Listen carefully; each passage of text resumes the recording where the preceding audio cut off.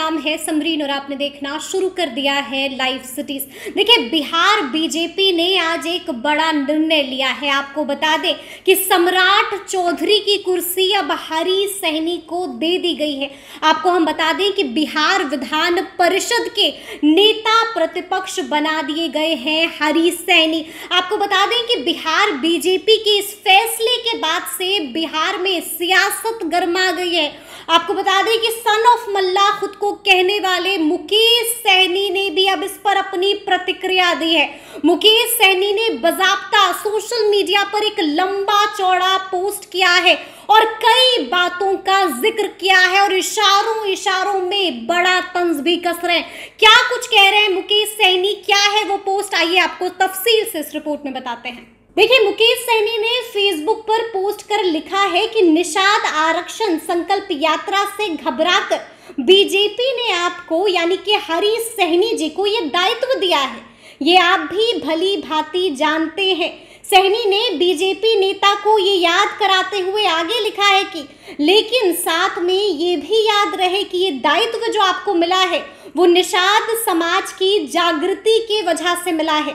इस बात का ध्यान रहे कि आप ऐसा कुछ ना करें जिसके कारण समाज के आरक्षण की लड़ाई खत्म हो सके।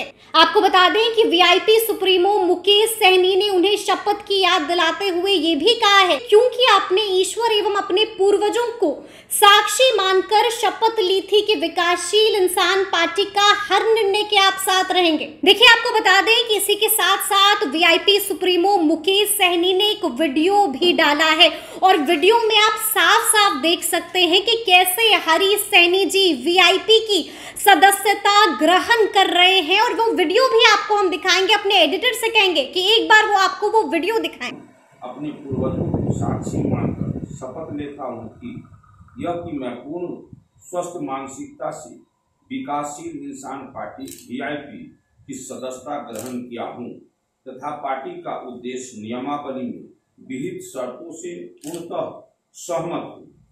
यह कि मैं निरंतर पार्टी हित में पूरी निष्ठा और ईमानदारी से कार्य करता रहूँगा।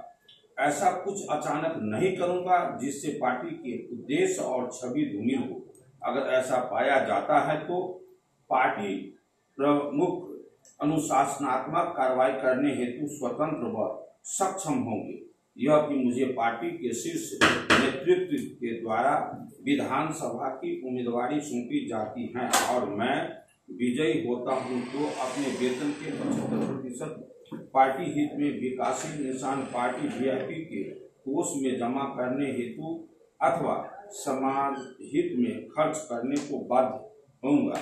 यह कि विजयी होने के उपरांत विधायक कोष से संभावित विकास कार्य के क्रम में सरकारी नियमों के अनुपालन के साथ साथ प्रधान कार्यालय के निर्देश के अनुरूप प्राथमिकता दूँगा। यह कि अपने पार्टी के शीर्ष नेतृत्व के हरेक लॉ लॉफुल निर्देश का अनुपालन करूँगा और पार्टी उत्थान के लिए निरंतर कार्य करते रहूँगा। यह कि विधायक से मेरे विजयी होने के उपरांत की जाने वाली विकास कार्य में निविदा मुक्त कार्य को छोड़कर अन्य सभी कार्य में शीर्ष नेतृत्व के अनुरूप अपने पार्टी के कार्यकर्ता को प्राथमिकता दूँगा।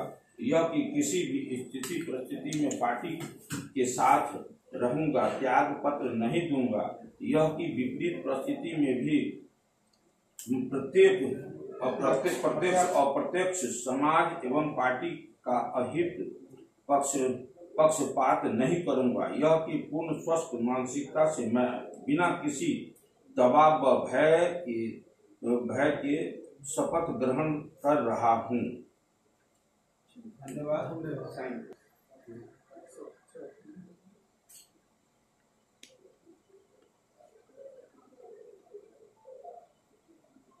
विजयी होकर आइए हम लोग का सुभाषी है पूरा पार्टी पूरा सिस्टम आपके साथ। है अपार बहुमत से विजय होकर के आप आइए। स्वागत। देखिए अगर हम बात करें हरी सहनी जी की तो आपको हम याद दिला दें कि 2020 विधानसभा चुनाव में बीजेपी और वीआईपी गठबंधन में चुनाव लड़ रही थी।